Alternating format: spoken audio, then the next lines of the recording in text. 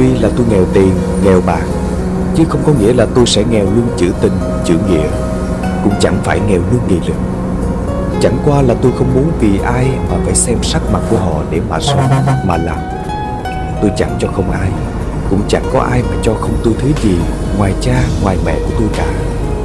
Vì vậy, nếu như sống tử tế Thì tôi cũng sẽ thay thế bằng sự nhẹ nhàng.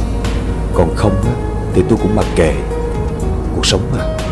Người thương thì ít, Mà người ghét thì nhiều. Trên đời này, Không thiếu điều phải tập chấp nhận. Lặng nhìn dòng đời đua nhau bon chen, vì chữ tiền. Bạn bè sang ngã yêu thương phơi phai cũng bởi tiền. Sống có khi đục trong cũng giống như con người. Dù thật thế nhưng đâu chắc mai không sao sáng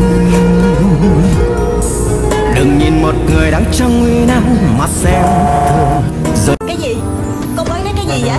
Dạ Tài xế hả? Dạ Trời đất ơi Con nghĩ sao vậy? Con nghĩ sao mà con đi quen tài xế vậy hả? Mẹ Sao tự nhiên mẹ lại nói như vậy Tài xế thì sao chứ Tài xế cũng là công việc đàng hoàng mà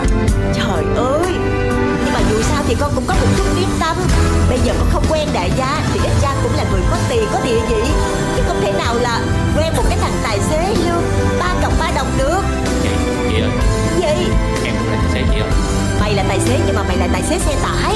Ờ đó đó đó đó. Mày là tài xế phải không? Bởi vậy Nghèo rớt một nơi đó thấy không?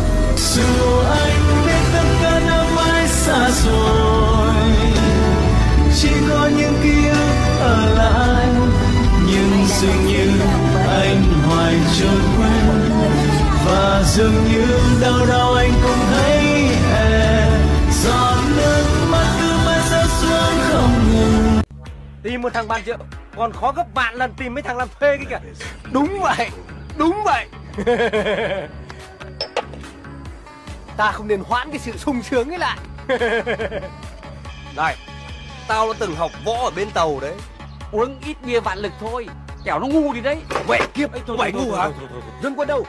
Cho cái cổ nó lại cho tôi. Báng bổ báng bổ. À, này chưa biết ai kiết đâu nhá. Đây kiết còn con nhà cho nhờ nhá. Có với chàng.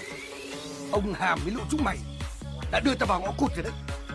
Dù trời có sập đi chăng nữa Thì phong thái cũng phải đàng hoàng đích đảng Đã thế ngày hôm nay tôi sẽ cắt tóc Cạo râu lấy dây tay Tỉa cả lông mũi nữa.